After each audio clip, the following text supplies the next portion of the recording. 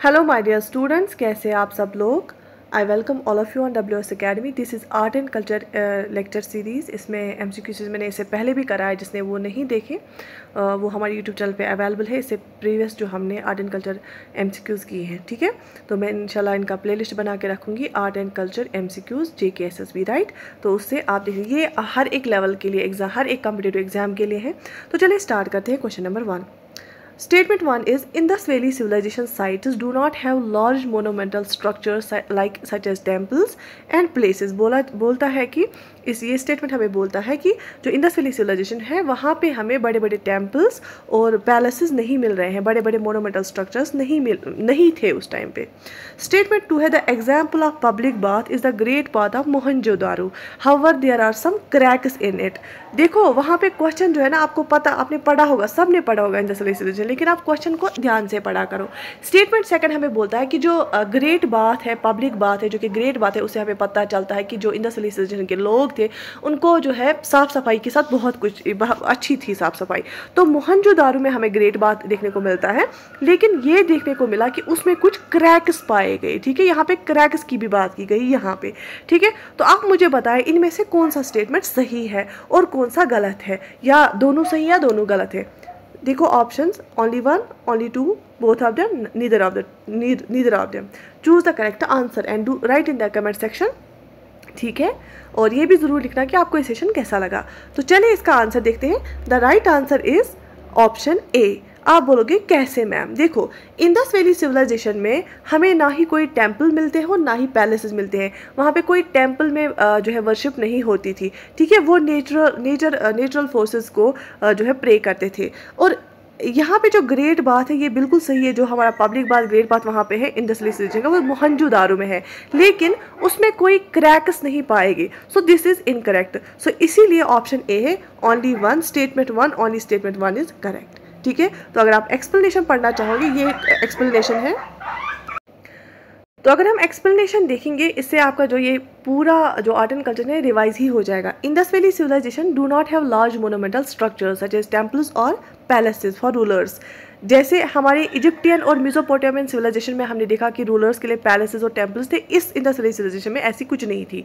The granaries were intelligently designed with strategic air ducts and raised platforms which help in storage of grains and protecting them from pests.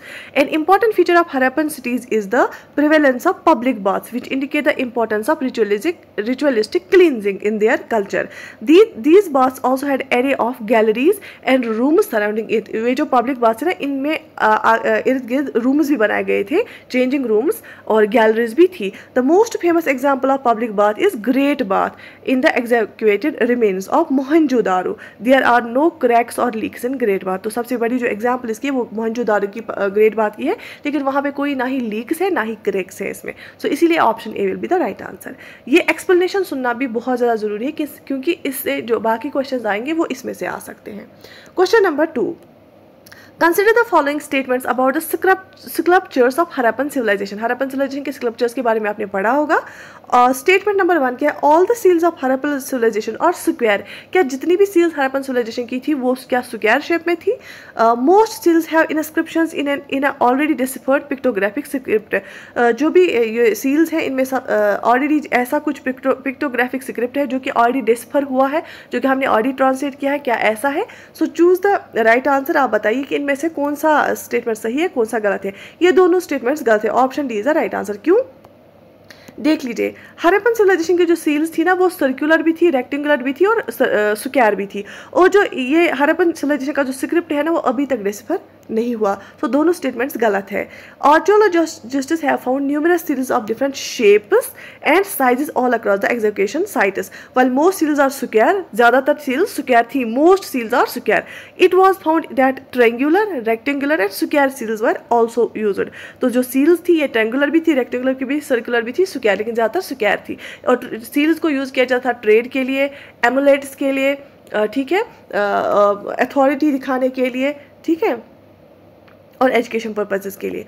सिटीटाइट सिटीटाइट ये याद रखना। सिटीटाइट जिसको हम soft stone बोलते हैं found in जो कि रिवर बेड्स में मिलती है was all the most common material use to make seals yet agate chert, copper, faience and terracotta seals also have been found. Some instances of copper, gold, ivory seals also have been found. तो that means different materials की seals लेकिन सबसे ज़्यादा क्या थी सिटेटाइट एक soft stone थी जो कि रिवर बेड से मिलती है हाँ कुछ seals agate chert copper faience terracotta seals भी थी कॉपर गोल्ड आइवरी सील्स भी थी तो ये ऐसा नहीं है कि बस सिटेटाइट की ही थी बाकी भी थी ठीक है okay okay.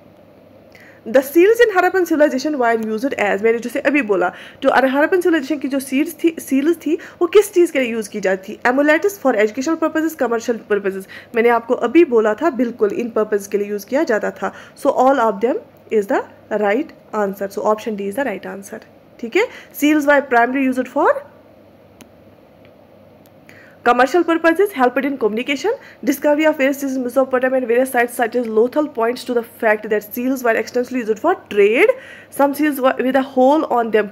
उनको ऊपर से hole होता था. Have been found on dead bodies. This indicates they might have used as amulets. जैसे हम तावीज़ पहनते हैं ना वैसे. Carried on the persons of their owners. Probably used as a some form of identification. Identification लिए भी लगा सकते हैं. Mathematical images have also been found on some seals which might have been used for educational purposes. As well. Seals with similar uh, uh, symbols similar to swastika. Design have also been found. Swastika uh, जो है symbol उन पे कुछ seals पे था. तो trade के लिए कमर्शियल पर्पज़ के लिए कम्युनिकेशन के लिए और एजुकेशन के लिए इन सब या एमुलेट के लिए इन सब पर्पज़ के लिए सील्स को यूज़ किया जाता था. ठीक है? Another question which of the following statements are correct about the bronze sculpture of the dancing girl ये भी इंडस्ट्रियलाइजेशन के साथ ही डील करता है। तो इनमें से bronze sculpture of dancing girl जो है, उसके लिए कौन से स्टेटमेंट सही है? The figure depicts and naked girl wearing wearing only ornaments which include bangles in the right arm and amulet hand bracelet on the left arm ठीक है? तो ये जो फिगर डिपिक्ट हमें करती है, क्या? नेकड गर्ल एक है। उसमें, उसके पास सिर्फ़ क्या है? ऑर्नामेंट्स है। जेवरात लगा के है। और बैंगल्स हैं राइट आर्म में और एमलेट हैंड ब्रेसलेट कहाँ पे? लेफ़्ट आर्म पे। She stands in dancing dancing posture with with the left hand on her hip क्या वो डांसिंग पोस्टर में होती है और उसका जो लेफ़्ट हैंड होता है हिप पे होता है? चूज़ द करेक्ट स्टेटमेंट तो इन दो स्टेटमेंट से आप बताइए कौन सा स्टेटमेंट करेक्ट है। And the right answer is option D ठीक है, क्यों? ऑप्शन डी क्यों? The dancing girl is the world oldest bronze sculpture ठीक है? ये कहाँ पे हमें मिला था डांसिंग गर्ल ब्रोंज ये स्कल्पचर मोहनजोदार में। This four inch figure depicts the naked girl wearing orderly ornaments ये सही है। लेकिन which include bangles in left arm bangles right arm में नहीं थी लेफ़्ट आर्म में थी। And amulet and bracelet on the right arm और एमुलेट और ब्रेसलेट कहाँ पे था? राइट आर्म में था और बैंगल्स लेफ़्ट आर्म में थी।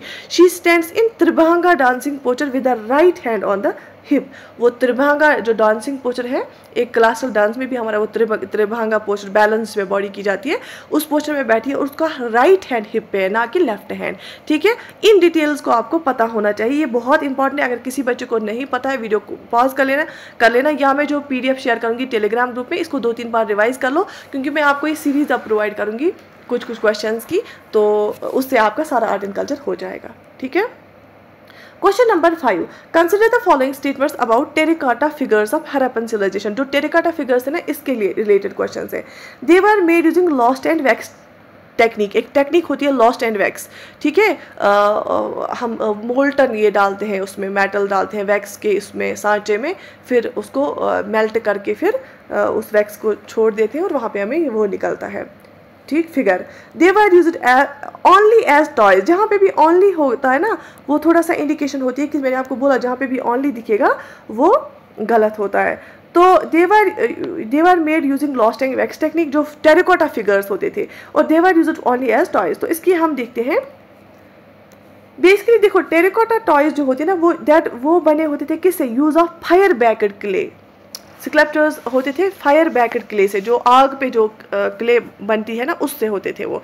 Compare to the bronze figures देखो जो ब्रोंज फिगर्स होते थे ना are in the terracotta figures in less in number and crude in shape and form जो टेरिकोटा फिगर्स है, वो कम नंबर में पाई जाती है और क्रूडली शेप्ड है। वो ब्रोंज की तरह नहीं है सजा के, ठीक है? और they were made using pinching method इनको, इनका जो मेथड होता था ना टेरिकॉटा फिगर्स का, वो था, कौन सा वाला?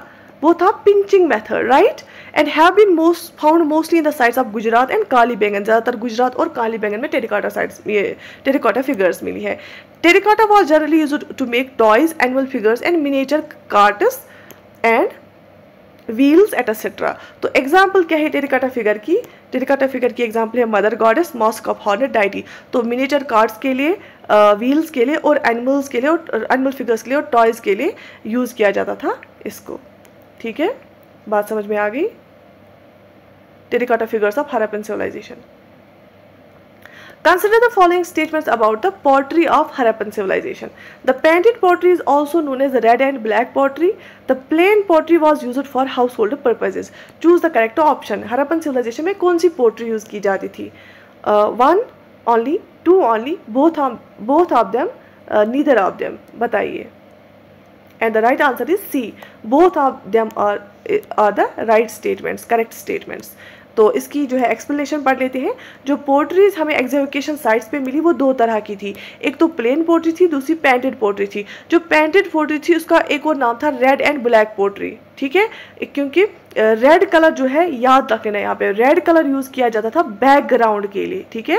बैकग्राउंड के लिए। और ग्लॉसी ब्लैक पेंट जो है ना वो डिज़ाइंस के लिए यूज़ किया जाता था। जो रेड पेंट है वो बैकग्राउंड के लिए और जो ब्लैक पेंट है उससे डिज़ाइन बनाई जाती तो, तो दो तरह की पेंट पोर्ट्री होती थी। एक तो प्लेन दूसरा पेंटेड जो पेंटेड पोर्ट्री थी वो रेड एंड ब्लैक थी। रेड बैकग्राउंड का कलर ब्लैक डिज़ाइन का कलर ठीक है? Uh, कौन कौन से डिज़ाइन बनाए जाते थे? Trees birds animal figures geometrical patterns ये थीम्स हुआ करती थी, उन पेंटिंग्स थी most of the potteries have been found are very fine wheel made wares तो व्हील मेड पोर्ट्री होती थी ज़्यादातर। With a very few being handmade handmade बहुत ही कम होती थी। Some examples of polychrome pottery have also been found though very rare कुछ पॉलीक्रोम पोर्ट्री भी होती थी। पॉलीक्रोम होता था जिसमें डिफरेंट कलर्स होंगे, लेकिन कम ही होते थे वो। जो प्लेन पोर्ट्री होती थी ना, जो प्लेन वाले बर्तन होते थे, वो पोर्ट्री हाउस होल्ड पर्पज़ के लिए यूज़ की जाती है यूजली ग्रेनज और वाटर को स्टोर करने के लिए।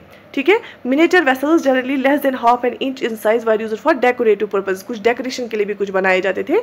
They were so marvellously crafted even now they evoke awe ठीक, ए एव मतलब कि वो बहुत ही अच्छे से काव करके होती थी। और दो तरह की पोट्री थी पेंटेड पोट्री और plain pottery. Plain pottery usually रोज़मर्रा ज़िंदगी के लिए और पेंटेड पोट्री ब्लैक बैकग्राउंड का रेड कलर का होता था और डिज़ाइन ब्लैक कलर का होता था। ठीक है? Moving to another question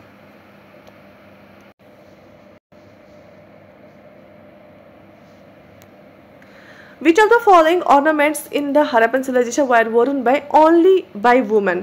हाँ ornaments तो men भी पहनते थे, women भी, लेकिन इनमें से कौन सा सिर्फ़ women पहनती थी? ग्रिडलेस इयरिंग्स आर्मलेट्स ठीक है? ग्रिडलेस इयरिंग्स एंड आर्मलेट्स इनमें से सिर्फ़ वुमेन कौन सी पहनती थी? One and two only two and three only one and three only and all of them बताइए। देखो, इस लेवल के क्वेश्चन सॉल्व करोगे एक्सप्लेनेशन पढ़ोगे तो इजी वाले क्वेश्चन खुद ब खुद आ जाएँगे। ठीक है? मैंने ईजी वाले क्वेश्चन अभी तक बहुत कराया आपको। वो भी मैं और कराऊँगी। सेशन कैसा लग रहा है आपको? इंप्रूवमेंट हो रही है नॉलेज में? कमेंट सेक्शन में ज़रूर लिख लेना। वीडियो को लाइक और शेयर ज़रूर कर लेना। ठीक है? Option is A one and two only सिर्फ़ वुमेन्स आर्मलेट्स हर एक पहनता था। ग्रिडलेस एंड एयरिंग्स वीमेन लगाती थी। लेकिन मेरे हिसाब से सिर्फ़ ग्रिडलेस अच्छा अच्छा ग्रिडलेस एंड एयर सिर्फ़ वुमेन मुझे लगता है एयर मैन भी लगाते थे लेकिन, ठीक है, मैं इसको कंफर्म करके नेक्स्ट लेक्चर में आपको बता फिर भी यहाँ पे हम एक्सप्लेनेशन पढ़ते हैं। Harappans use a large variety of materials from precious gem stones to bones and even baked and clay to make ornaments both man and women wore necklaces fillets arm Seng finger rings अच्छा finger rings girdles ear rings और anklets जो है ना ये तीन girdles ear rings और anklets were worn only by women तो याद रख लेना तीन चीज़ें girdles ear rings and anklets सिर्फ़ वुमेन लगाती थी लेकिन जो फिंगर रिंग्स है ना वो मेल भी लगाते थे bead is made from carnelian amethyst quartzite were quite popular and were produced on large scale, as is evident from the factories discovered in Chanhudaro और लोथल चंदारू और लोथल में बीड मेकिंग फैक्ट्री भी मिली थी हमें। चंदारू और दो लोथल जो दो साइट्स है हरपन सिविलाइजेशन के, वहाँ पे बीड मेकिंग फैक्ट्री भी बनी थी। तो इसका आंसर इसलिए ए है क्योंकि ग्रिडलेस इयर और एंकलेट्स है ना ये सिर्फ़ औरतें पहनती थी, मर्द नहीं पहनते थे। ठीक है? Okay moving to another question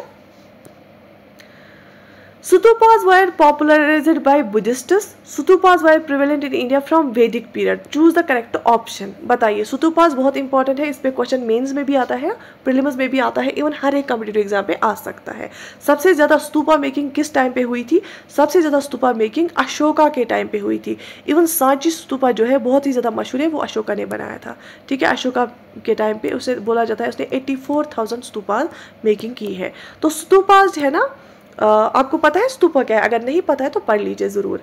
ठीक है? So only one only two both of them neither of them बताइए, कौन सा स्टेटमेंट इसमें सही है? And the right answer is C no doubt stupas पहले से थे, लेकिन बुद्धिस्ट्स ने बहुत ज़्यादा इनको पॉपुलराइज किया। और इवन वैदिक पीरियड से ही हमारे यहाँ थे। अशोका के टाइम बहुत ज़्यादा बने और इवन देखो एक्सप्लेनेशन में लिखा है हम यहाँ पे पढ़ते हैं। Stupas were burial mounds prevalent in India ठीक है?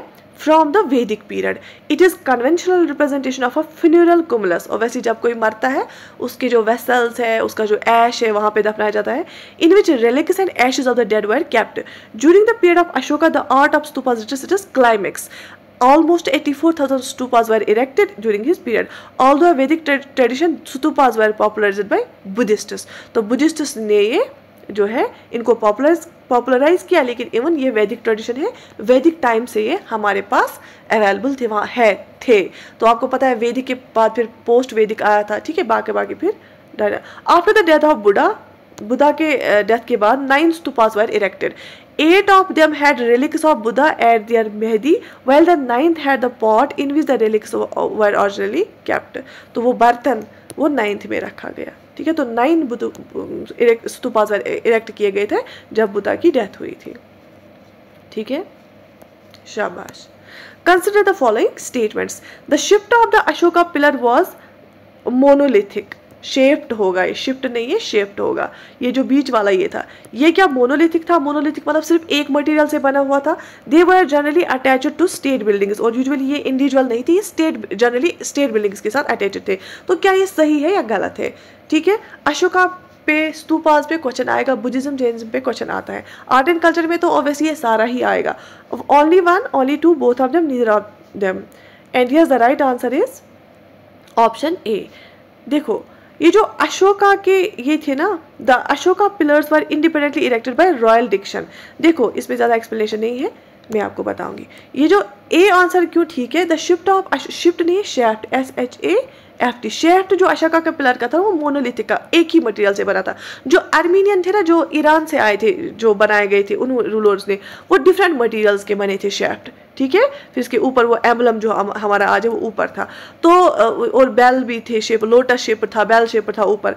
तो अशोका का जो पिलर था ना वो सिर्फ़ एक मटेरियल से बना हुआ था। जो ईरानियन थे वो डिफरेंट मटेरियल से बने हुए थे। जो जो पहले वो ईरानियन थे ना, वो डिफरेंट यूजुअली स्टेट बिल्डिंग्स के साथ अटैच थे, लेकिन जो अशोका के पिलर्स थे ना, वो रॉयल फरमान लिखने के लिए उसमें ऑर्डर्स लिखते थे। तो जो वो अशोकन पिलर्स थे, वो इंडिपेंडेंटली जो है इरेक्ट किए जाते थे। तो इसमें इसीलिए पहला स्टेटमेंट सही है, दूसरा गलत है। ठीक है? Okay so option answer is answer is correct explanation so option A is right answer the Ashoka pillars were independently elected by royal diction ठीक है? शाबाश। यहाँ तक क्लियर हुआ। कॉन्सेप्ट क्लियर हुए इंफॉर्मेशन इंप्रूव हुई। Okay question number ten which of the following statement is correct about the about the cave architecture during the Mauryan period इनमें से कौन सा स्टेटमेंट मोरियन पीरियड के केव आर्किटेक्चर के लिए सही है? They were generally use as prayer halls interior walls are crudely design and lack this lacks मतलब जो uh, अंदर से वो नकाशी की जाती है fineness vihara were the residential halls only for the Buddhists Barabar and Nagarjuna caves in Bihar perform during the time of Dasharatha grandson of Ashoka तो कौन सा कौन सा स्टेटमेंट सही है। सो ऑप्शन इनमें से बोला इज़ करेक्ट अबाउट अच्छा ऑप्शन फोर देखो ना, बाबर नागार्जुना केव जो ना, इसको, उनको सिस्टर केव भी बोला जाता है, जो बिहार में है, ये दशरथ के टाइम पे बनी थी, जो ग्रैंड सन था किसका? अशोका। अशोका के बेटे का बेटा था। दशरथ था ग्रैंड सन ऑफ़ अशोका, उसके टाइम पे बाबर केव्स और नागार्जुना केव्स बनी थी, जो कि बिहार में थी। ठीक है? So answer is option four देखो, जो मौर्य पीरियड में केव्स होती थी ना इस पे स्टेटमेंट पहला क्या है? They were use generally use as prayer hall prayer house हम छैतियाज को बोलते थे। विहाराज हम बोलते थे डिवेलिंग प्लेसेस को। ठीक है? तो विहारा जो है ना in caves in Mauryan pairs were generally use as viharas. तो रहने के लिए यूज़ किया जाता था। प्रेयर्स के लिए नहीं छैतियाज एज छैतियाज यूज़ नहीं किए जाते थे। तो इनको डिवेलिंग के लिए यूज़ किया जाता था एज विहार्स यूज़ किए जाते थे। तो प्रेयर हॉल्स एज यूज़ नहीं किए जाते जाते थे। Interior walls were marked by highly polished finish and decorative gateways लेकिन इनका जो इंटीरियर होता था ना, वो हाईली पॉलिश था फिनिश था और डेकोरेटिव गेटवेज थी। Barabar and Nagarjuna caves in Bihar perform perform during the time of Dasharatha grand son of Ashoka तो ये भी चौथा सही है। ठीक है? यहाँ तक समझ आया। तो these were the ten most important question of art and culture इनशाला पार्ट टू में मैं और कराऊँगी। लेकिन आप मुझे जो है रिव्यू दे देना कि आपको ये सीरीज़ कैसी लगी सो दैट कि I can continue this series continue करनी है या नहीं, आपको कैसा लगा? बाकी हमारे चैनल को सब्सक्राइब कर लेना। And share with your friends I wish you all the best take very good care of yourself